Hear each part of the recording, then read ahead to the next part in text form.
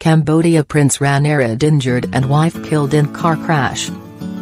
A Cambodian prince and former prime minister has been injured and his wife killed in a head-on car collision in the southwest of the country. A taxi hit the vehicle Prince Norodom Ranariddh, 74, and Ouk Phalla, 39, were traveling in, officials say.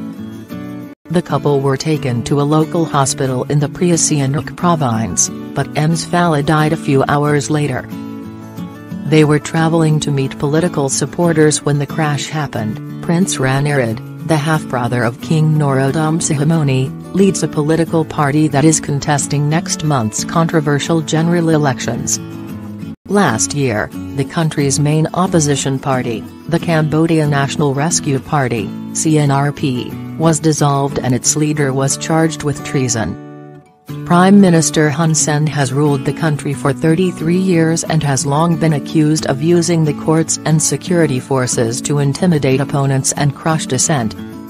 Prince Ranariddh served jointly with Mr Hun Sen as Cambodia's prime minister from 1993 to 1997, when he was ousted in a coup led by the current prime minister.